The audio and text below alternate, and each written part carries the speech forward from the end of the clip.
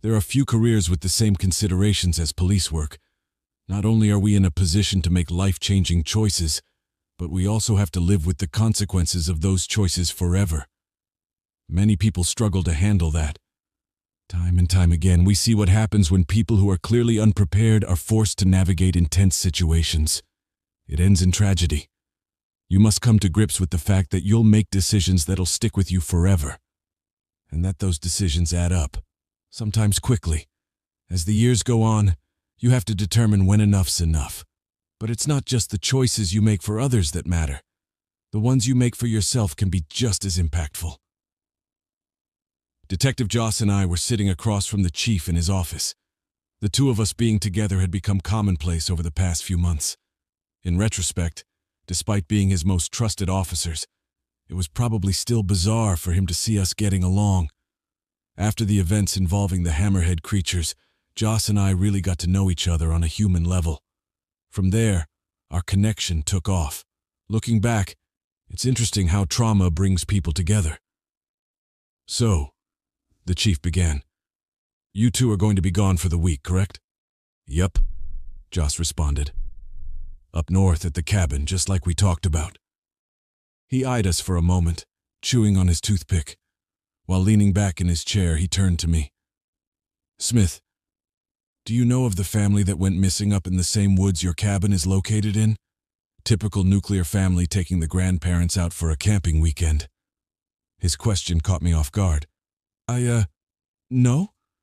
I don't believe I've heard of that specifically, but I'm sure a lot of people go missing in the woods every year, don't they? He nodded. They do. This specific family is intriguing, though. See, they knew the woods. Father is a former ranger. Mother is a wildlife biologist.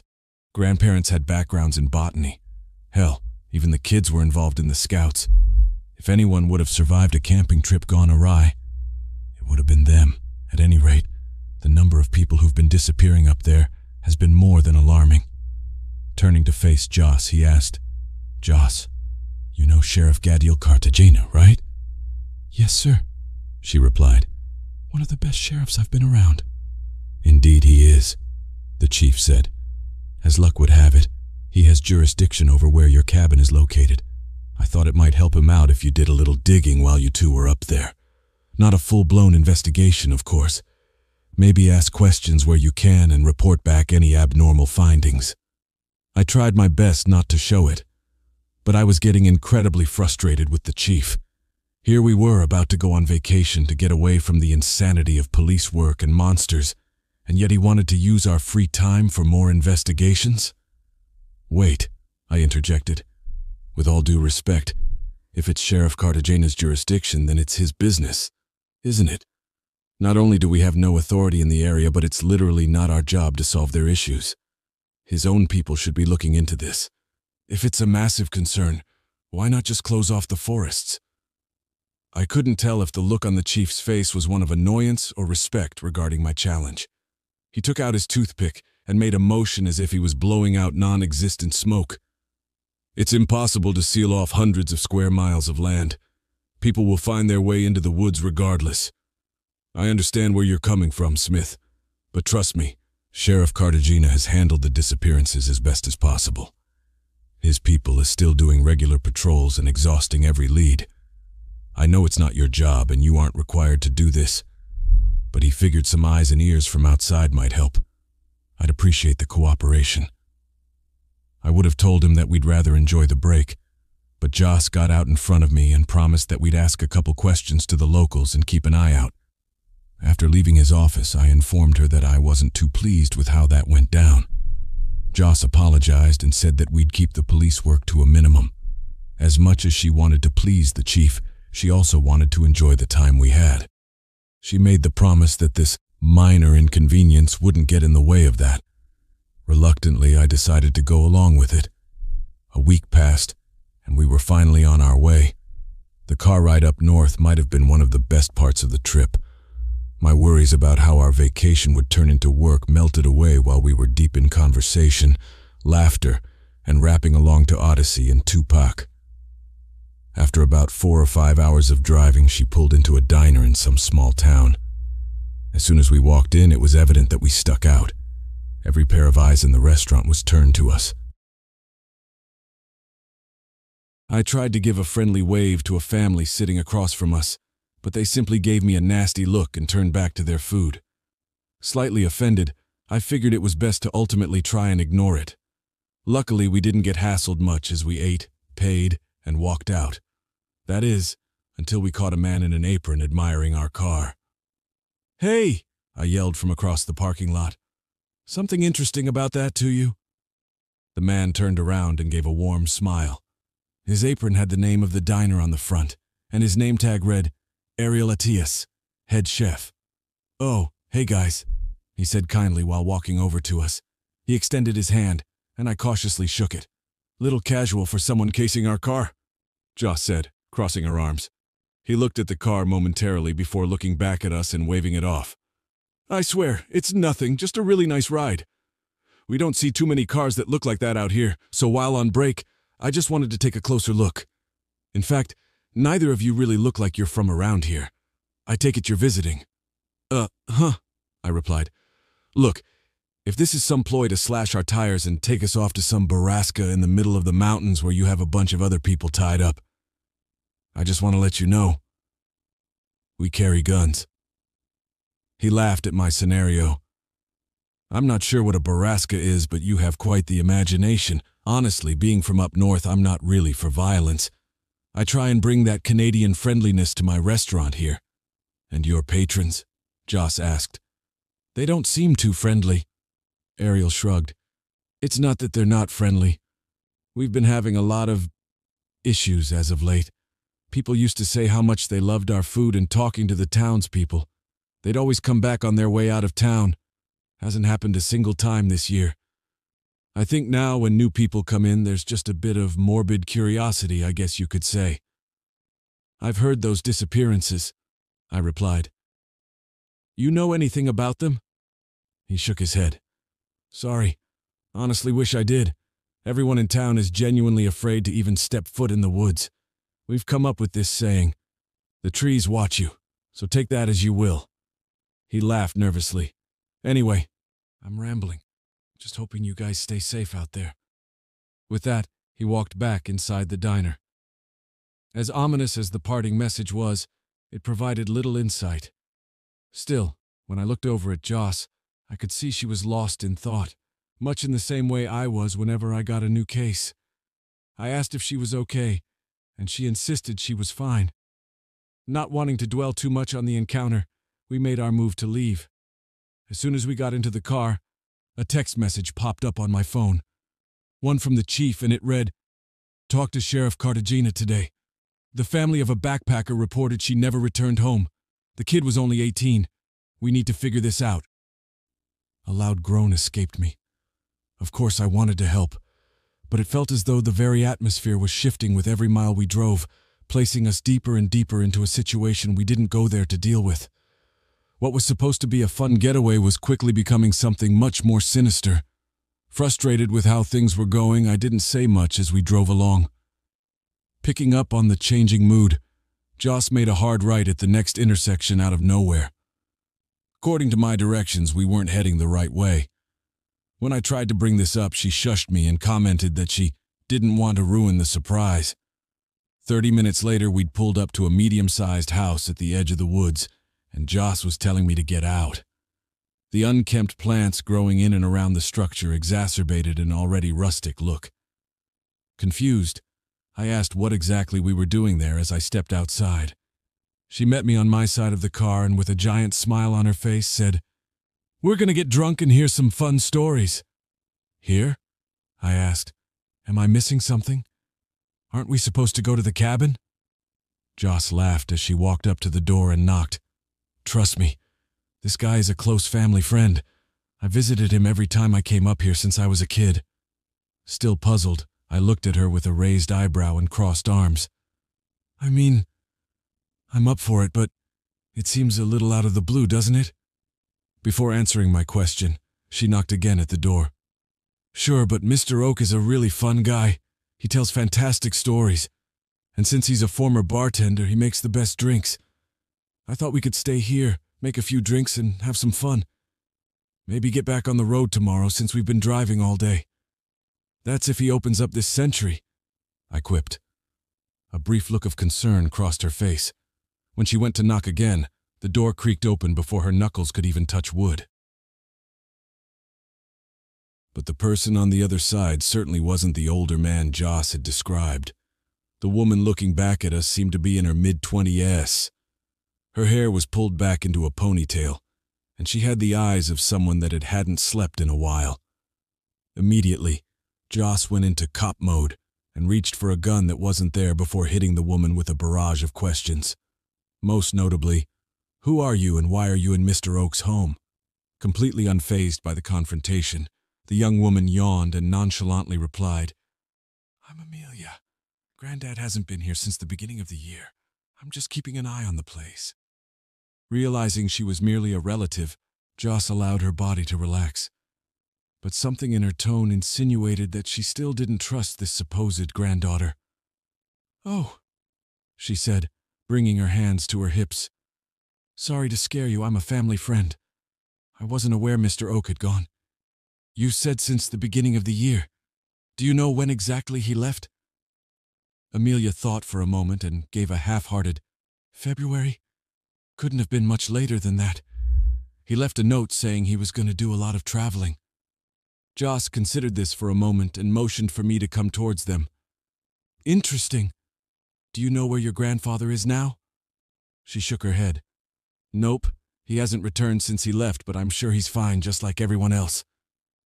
That statement caught my attention. Wait, just like everyone else? Who exactly is everyone else? Her entire demeanor shifted after my question. Her eyes immediately darted to the woods behind us. A nervous smile grew on her face, and the inflection of her voice signified mild discomfort.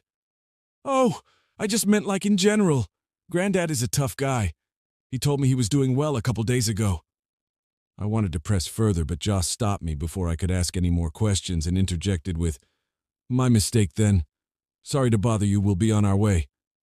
Without another word, we left. The hastiness of the exit had me in shock. Here we had a direct connection to the disappearances, one that maybe could have led us to some exciting information. And yet the hard ass of all hard asses wanted to just drop it? The ride from the Oak home to the cabin was roughly another couple of hours and half the time I tried to get a reason as to why she didn't press it, but she wouldn't budge. When we arrived, I meant to push the point more, but my immediate attention was stolen by the beauty of the nature surrounding us. The lush green forests, rolling hills, and endless wilderness were breathtaking. The cabin itself had a very modern look to it. It was large enough to house a family, but cozy enough to not be overwhelmed by the space. A small lake sat next to it, and a fire pit was a brief walk away. This is beautiful, I stated. All this to ourselves. Joss nodded. Yep, just us, nature, and whatever horrible monstrosities are taking visitors. We don't know there are monstrosities. The fact is that this forest is enormous. Pretty easy for people to get lost. I also wouldn't rule out the possibility of some rouge predator that realized it's easier to hunt people than deer. She shrugged and went to sit on the bed. I hope you're right. Just seems like a lot of strange occurrences have happened since we got here. In the years I've been doing this, that usually means something. Well, isn't that why you told the chief you'd look into it? The shift in her disposition indicated that my question was taken in a way that I didn't intend. Don't do that, she snapped. All I wanted for us to be out here together. Appeasing the chief just seemed like the quickest way for that to happen. Plus, at the end of the day, I still feel at least a slight obligation to do my job. I threw my hands up and explained that I in no way meant to offend. It just seemed as though she really wanted to take on the challenge of figuring things out, and that was a trait that I admired. Joss took a second to exhale and apologized for being so quick to anger. She explained how stressful it was to balance her allegiance to her work and her genuine desire to make progress with me in her personal life. It's a feeling I could relate to, I assured her that how she was going about it was fine. I wanted to spend time with her too, and we agreed to handle things as they come. Of course, we'd do our best to enjoy the beautiful environment, but if something strange came our way, then we'd be ready for that. We spent the rest of the day exploring the woods around us, telling stories over a campfire, and then retiring for the night. Laying together in bed, we made plans to explore and hike up to a spot that overlooks miles of forest. Ideally, we'd stay up there, come back, make some food, do some target practice with the guns she had there, and then wind down by the lake. Everything seemed set up for a fantastic day, and the following morning, it was all trending in that direction. We made breakfast, packed our supplies, and headed out. The trail was admittedly a little rougher than I anticipated. Joss, who is an avid runner and general health nut, was even kind enough to go closer to half speed to let me catch up. Once we made it to the top, I couldn't believe my eyes. The view was unlike anything I was used to seeing. The mighty army of vibrant green trees extended infinitely into the horizon. The massive hills staring back at us held the promise of undiscovered ecosystems waiting to be explored. The nearby lake gleamed as the rays from the sun made the surface appear as though thousands of crystals were occupying it. It was absolute paradise. And to top it all off was being there with Joss. The look in her eyes showed a deep appreciation for what we had the privilege to observe.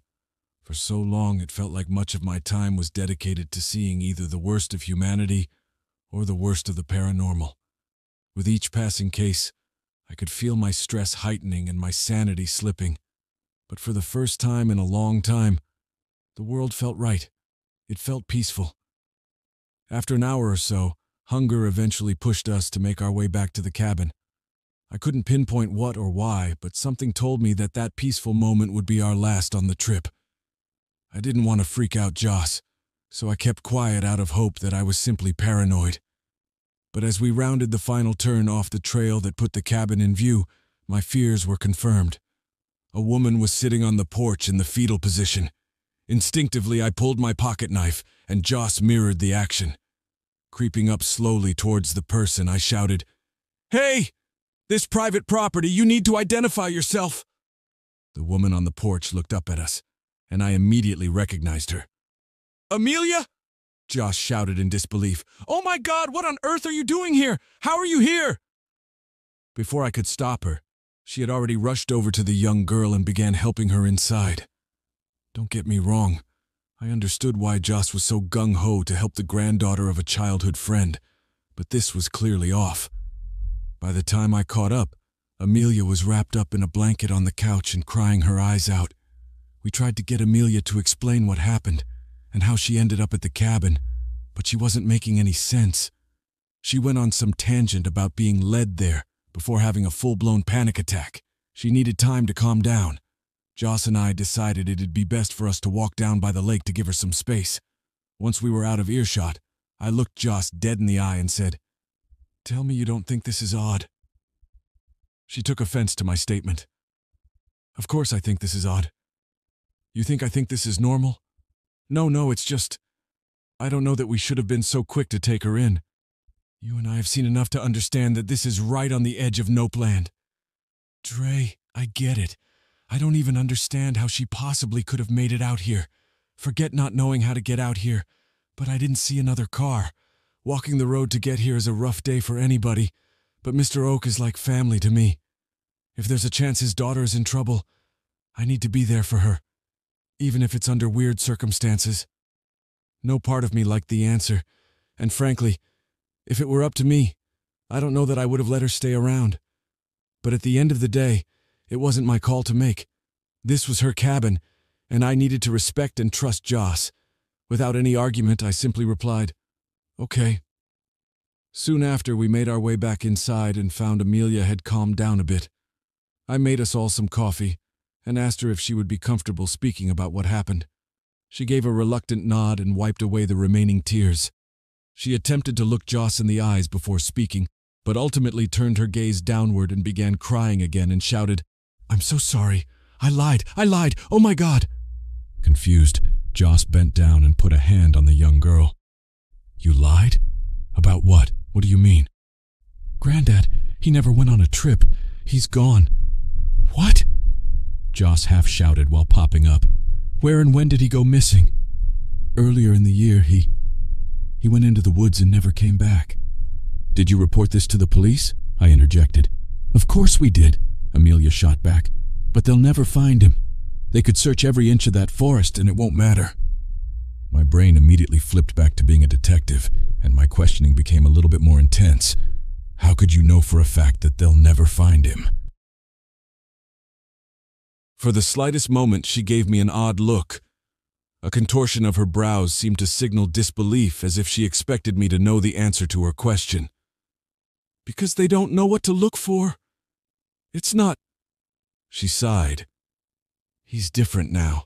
Amelia, Joss began. What do you mean by different? And do you know if your grandfather is okay? Tears began to well up in her eyes again, but oddly enough, there was a smile too.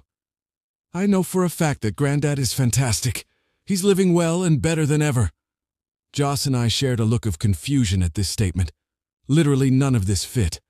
In our brief moment of interaction, Joss must have been able to read my mind because she asked a question that was also at the forefront of my brain. Amelia, how did you know to find us here? A moment of silence followed. Amelia seemed to be contemplating how to tell us. Still, without her saying a word, I knew the answer would be an incredibly uncomfortable one. When she finally found the words, she simply turned to look out a window and stated, Granddad told me. She gave us a quick glance before looking back out the window and continuing, I can hear his voice from all around. He said a lot of things and they scare me. You both needed to know. I didn't know what to make of what she was saying. As much as I wanted to dismiss that she was getting mental messages from her potentially dead grandfather, I'd seen too much to rule anything out. On the flip side, it also wouldn't be the first time someone had, in reality, done something awful and then played it off with talks of voices in their head. But at the end of the day, I needed to approach the situation rationally. I couldn't believe it was supernatural until I saw the supernatural. I suggested that she let us drive her into town. Ideally, we would get her checked into a hospital, and maybe she could give the local police any information garnered from the voice of her grandfather. Joss shut down the idea and instead insisted that Amelia stay. She was adamant about monitoring her, at least for the night. Joss later confessed that getting rid of Amelia without calming her down under supervision would be like abandoning her, and she wouldn't do that to the family of a close friend. It was a rationale I didn't necessarily agree with, but one that I respected. We went about setting up the guest room for Amelia and spent the rest of the day fishing and taking shifts watching over her. For most of the day, Amelia sat silently in her room. She'd be on her bed and stare out the window, seemingly deep in thought. I'd try and talk with her, but the most I could ever get was a brief glance in my direction. Eventually, the time came for me to go to bed. I walked to the kitchen to brush my teeth and caught Amelia sitting at the table drinking some tea. By this point, I didn't expect any sort of an acknowledgement of my presence, but to my surprise, she gave me a very warm, Hey, Dre. A little caught off guard, I greeted her back, but ultimately thought nothing of it. That is, until she got up and started to walk out. Just before reaching her room, she stopped, turned around, and stared at me. An unnervingly wide smile plastered on her face. You've seen terrible things, haven't you? Tragic. And with that, she simply went into her room. I sat in silence for some time, just thinking. Was Amelia referring to the paranormal? The murders I've investigated in my career? Or something more personal? I hadn't known this girl for more than 48 hours. How could she be aware of anything? Either way, her statement rattled me. When I finally got to bed, Joss asked me what took me so long, and I couldn't bring myself to tell her. Maybe that was a poor choice. I don't know. At a certain point, you just want to be done with the weirdness and move on. I told Joss that I had just been thinking, and when she pressed me for details, I promised I'd tell her in the morning. Luckily, she accepted my answer. Joss drifted off fast in my arms. But despite her being right there with me, I felt alone. Amelia's words unearthing a river of memories that I floated down. Reflections of my life, my mistakes, and the choice I've yet to make lulled me into a largely dreamless sleep, a ritual that I had grown accustomed to. Oddly enough, the only mental image I can recall was that of the Watcher saying we'd all be safer with them. I don't know how much I slept, but it was clearly very early in the morning when I woke up. The sun had just begun to rise, and Amelia had the blanket pulled over her face on the other side of the bed. I sat with my eyes open for a moment when the realization hit me that I wasn't going to be able to fall back asleep. With a quiet groan, I pulled myself out of bed, some clothes, and walked over to the kitchen to grab some water and brush my teeth. When I arrived, the first thing I noticed was 9mm ammo had been left on the table. Confused, I walked over to Amelia's room and found that she had left. Her space was clean and nothing indicated that she had left in a hurry. At first, I figured that she had likely gone into the woods to shoot. Perhaps Joss told her where to find the gun while watching over her. When I went outside to try and find Amelia, I immediately noticed more bullets had been dropped, and they led to a nearby trail. As I walked to the trailhead, I heard a gunshot coming from that same direction. I figured I'd follow the trail and hopefully meet up with her at some point. But not too long after I started walking, I heard an eerily familiar voice call out to me from deep in the forest. A voice so familiar, in fact, that it froze me in place. I dared not move from my spot in hopes that it would call out again. Tears began to make their way down my face. I knew that it was probably some fucked up trick being played on me, but I didn't care. The moment I recognized that it was my son's voice calling out to me, my baby boy calling for his father, I sprinted off towards it. I'd seen so much in my time investigating the paranormal that I suppose a small piece of me hoped that somehow, someway, something had brought him back. Even if there was a 1% chance, I had to take it. I ran and ran, my boy guiding me towards his location. I called out to him. He needed to know that his father was finally going to be there for him. I had no idea where I was headed, and I didn't care. I just kept going until I physically couldn't any longer. But ultimately, my efforts had brought me no closer to him. Instead, I found myself in a grave situation. I had blindly run off trail into the woods, and now I was surrounded by nothing but trees. How could I be so stupid? I thought to myself. The voice had seemed so real, but the only thing it had led me to was getting lost. It was the first time I had to consider whether or not I was indeed going mad.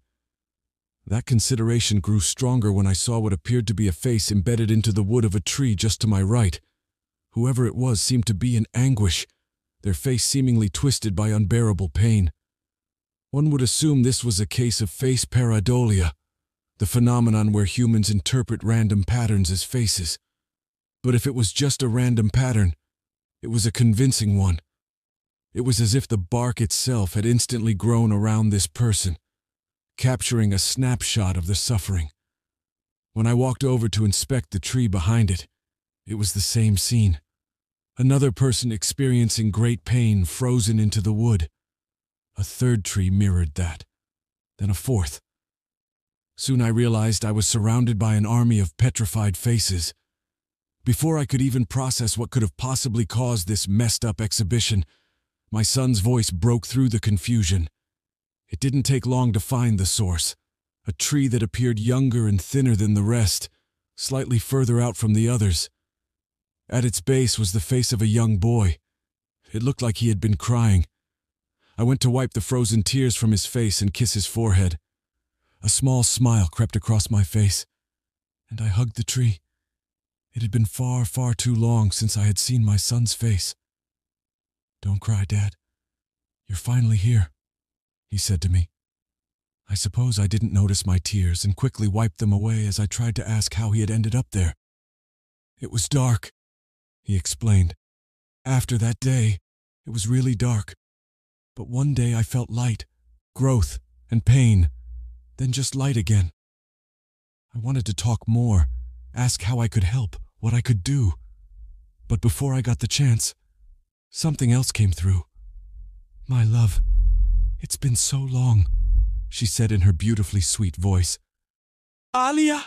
I shouted back. How, how are you both? Alive? She said softly with a laugh. It wasn't any thanks to you, you cowardly bastard. What? I asked in disbelief. No, this isn't. This can't be. Oh, but it is. Her tone became much darker. You left your wife and son to die, love. I told you I wanted you to find new work. I told you putting people in prison would make enemies. I told you, and now? She was leading me to finish her sentence, but I couldn't. No, no, I mumbled under my breath. There's no way! I stood up, shouting. You're not them! You're some kind of apparition! A fucking lie! A new voice emerged from the tree. One I didn't recognize. This voice deep and monotone. A lie! No, Smith! We are truth! We are life! The curtain had finally dropped. Something sinister had to be imitating my family, and I was furious. What kind of life could you possibly be? Look around. All I see is a sick imitation of death. It laughed an unimpressed laugh. We grow, our cells divide. We turn sunlight into energy, and you call that death? We have brought life back from the husks of the dead. Our roots and mycelial networks are far reaching from here to your home and far beyond. We connect everything, we absorb everything, we see everything. Its voice quickly shifted to that of a young girl. Remember me, Detective Smith? I. Who are you? Hmm, figures. I'm the little girl you let die because you were too overconfident to call back up, or stay to fight even if it cost you your life. Wanted all the glory for yourself, but couldn't handle the fire when it got too hot, huh? Coward. Faye Mizuki had come back from the grave. The greatest failure of my career was literally staring back at me, and I was speechless. The voice switched up again.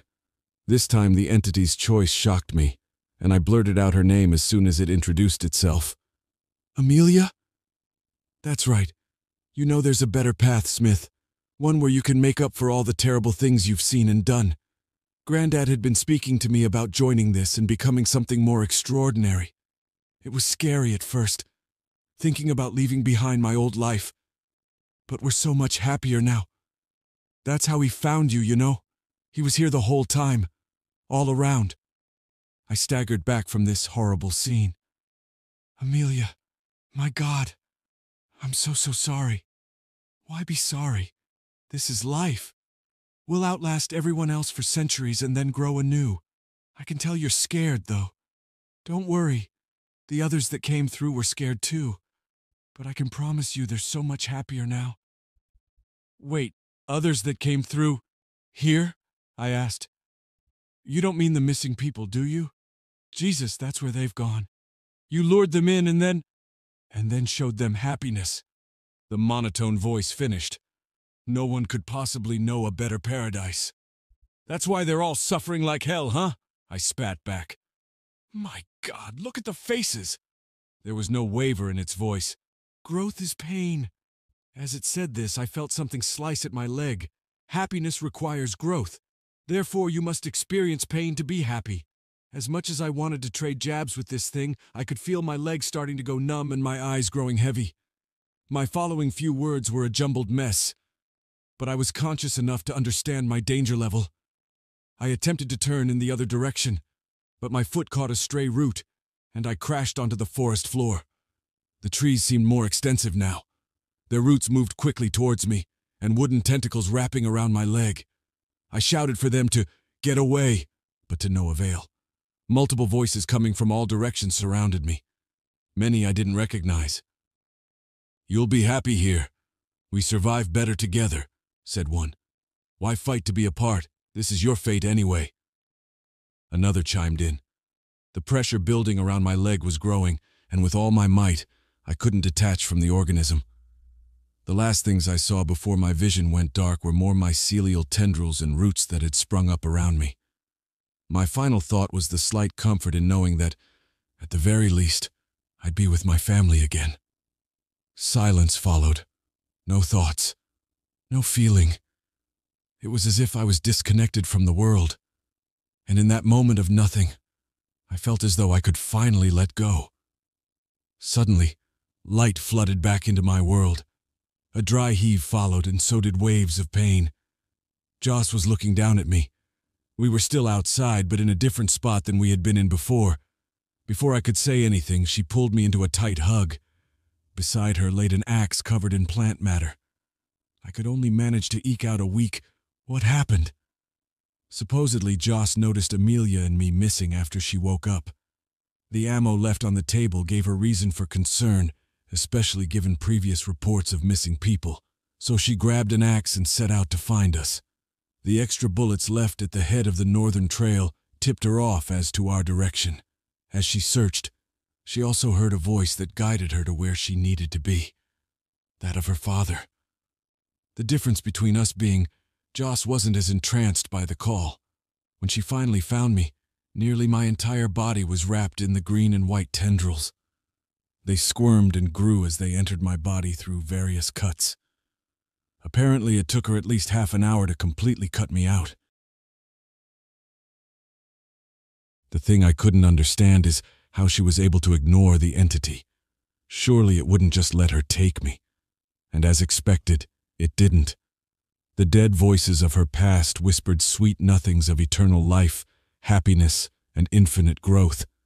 Even Amelia had taken a shot at convincing Joss to move on to the next life, as she had done at the end of a bullet. For every mycelia and root she cut, it tried reconnecting with her, so she had to keep a constant offense to keep from joining the literal legion of the dead. When I was finally free enough, she dragged me just far enough to get away from whatever the hell that entity was. I didn't know what to say. What could I say? After hearing her story, I just sat contemplating what took place.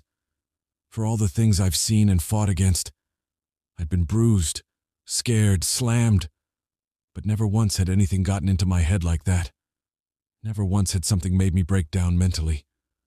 Joss stayed with me the whole time as I gathered my thoughts until finally I said the magic words, let's go home. Packing up was quick, and we rode silently back. When we finally arrived at my place, I didn't say anything as I got out of the car. A simple kiss on the forehead was our only means of communication, and it stayed that way for the rest of the week. I spent all my time at home, just thinking.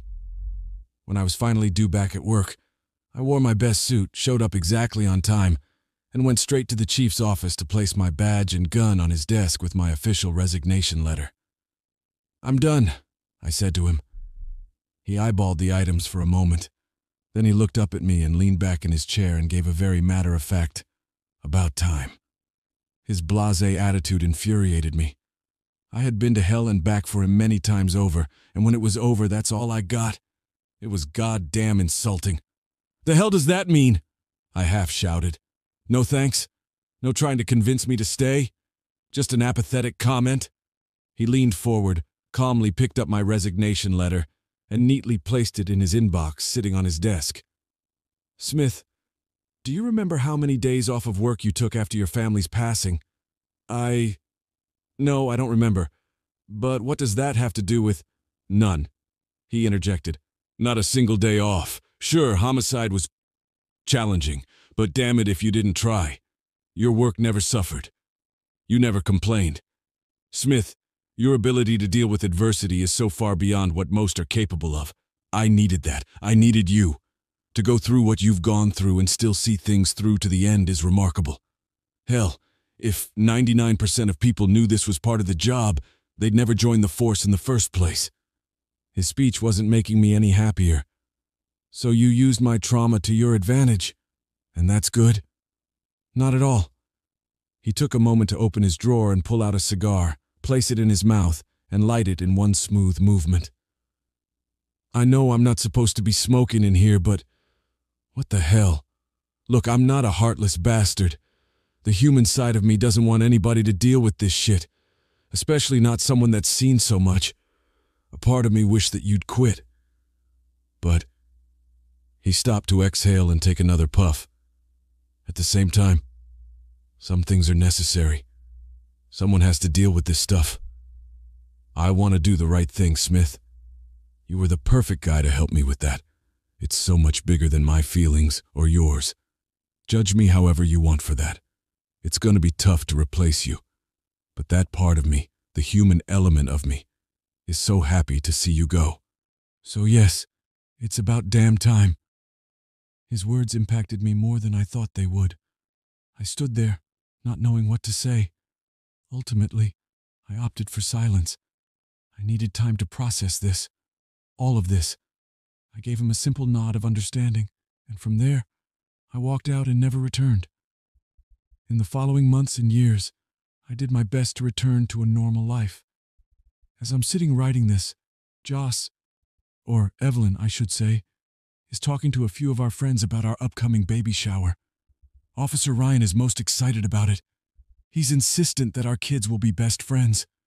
Writing these stories has given me so much perspective on these events.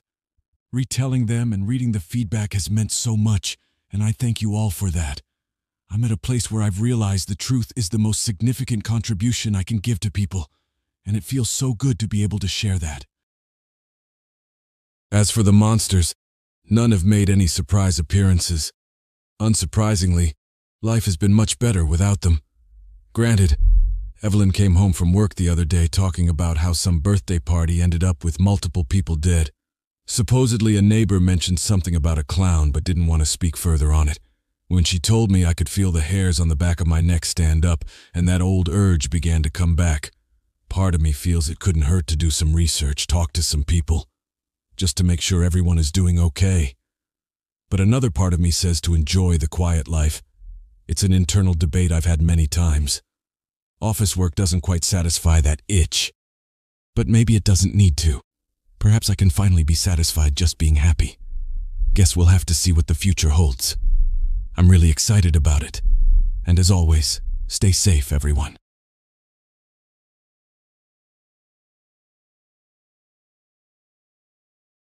Thunderstorms, the epitome of both nature's beauty and its wrath. I remember as a boy being terrified of them. Whenever a big storm rolled in, I would hide under my covers with a flashlight. My mother always assumed that it was the big claps of thunder hurting my ears that caused me so much distress. It seemed logical, but I never had any problems with fireworks or loud explosions in movies. At my core, I simply believed that there was something in the storm coming after me. As I grew older, the idea seemed silly. That was until last week. That was until the summer storm that struck the fear back into me. My wife and daughter Sylvie were on a trip to Boston for Sylvie's dance competition. I had to stay behind for work, which meant I had the whole place to myself. After I got home from work, I got in my comfiest casual clothes and threw on the TV for a night of baseball and action movies. The news was just finishing showcasing an emergency weather report. A massive thunderstorm was going to be rolling through in a matter of hours, and viewers were advised to take extra special care. I didn't care if there was a hurricane outside as long as it didn't interfere with my night. Two hours later, I was deep into my Red Sox game when the mother of all sheet lightning lit up the sky like an atom bomb, and with it went my power. I grimaced at the empty room, my one night to myself, and now I had to spend it in the dark. I sighed and made my way to the fridge to grab a beer while it was still cold. I sipped my beer and merely stared out the window at the storm. The weather report wasn't exaggerating. This storm was an intense one. The winds whipped through the trees, tearing leaves and twigs from their branches. Lightning lit up the sky every few seconds, and with it the boom of thunder like great footsteps of a giant. I resorted to my childhood game of counting the seconds between flash and boom. The storm was growing closer, and soon it would be on top of me. That thought sent me back through time, and I found my childhood fear beginning to seep through me. The whistle of the wind began to sound like ghostly moaning. The branches of the trees were like great claws reaching for me. I tried to tell myself that I was being silly, but I couldn't help staring into the forest before me, as if I was looking for something. I stared into the shaking branches, and I was convinced that there was something out there staring back at me. A growing part of me wanted to bolt upstairs and hide under the covers. Suddenly, a loud beeping erupted through the house, and I nearly jumped out of my skin. It took me a moment to register that it was merely the ringer for a video call. I smiled and laughed at my childish fear. The power may have been out, but I still had service. I opened the call and the beautiful faces of my wife and Sylvie greeted me. Their smiles pushed away the gloom of the storm, and I found myself the calm, rational adult that I should have been. They had heard about the storm and wanted to make sure I was all right. After assuring them that I was fine, they told me all about their trip.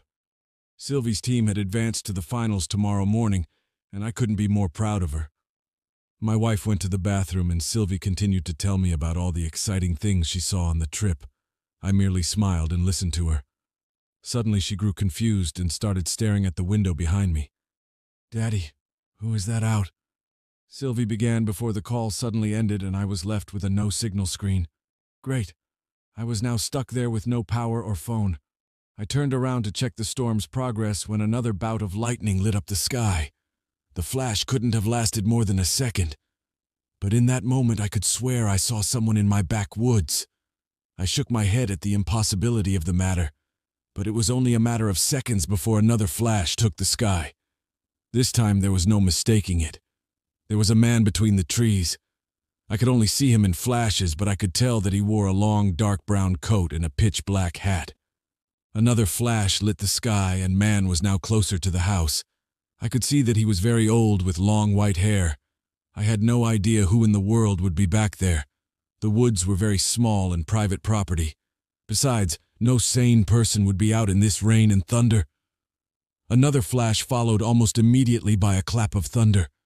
The storm was getting closer, and so was the old man who was now just behind my fence. A second flash followed the previous by mere milliseconds. This time, the mysterious stranger stood in my backyard. I bolted back from the window. That was impossible. There was no way the old man could have climbed the fence that quickly. I went back to the window and stared.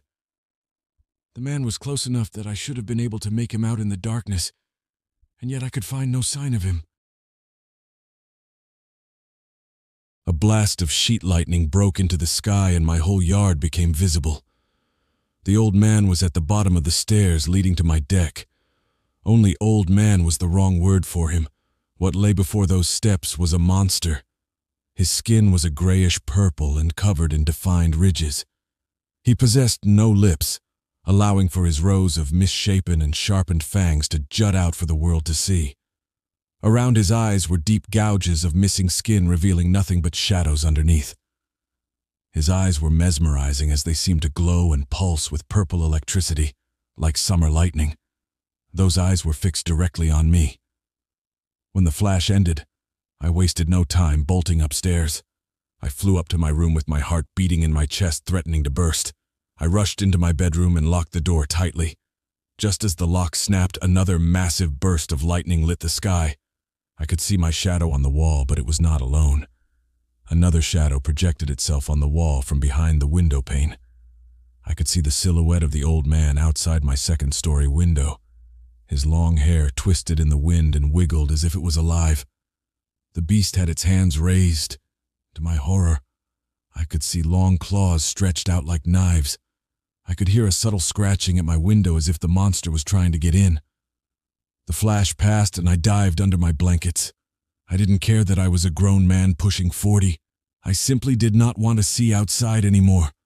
As I lay there, I could see even through the thick comforter a blast of lightning accompanied the most blaring burst of thunder that I have ever heard. The storm was now on top of my house.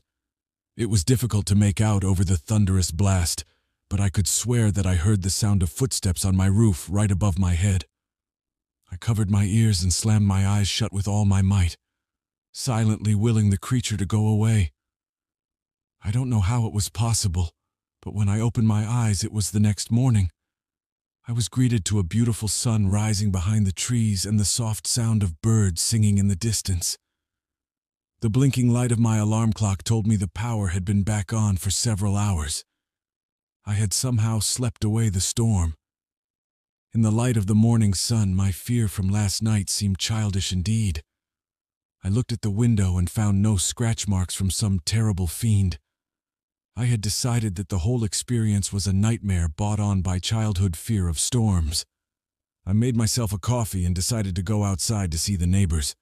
Across the street were two police cars and an ambulance at Mrs. Patterson's house. The paramedics were taking a sheeted body out on a stretcher. My next door neighbor, Wendy, was watching in shock and horror, so I asked her what happened. She told me that the wind from the storm blew something into Mrs. Patterson's window, and she was struck dead. I looked back and felt the color drain from my face as I noticed what looked like claw marks at the top of her living room window.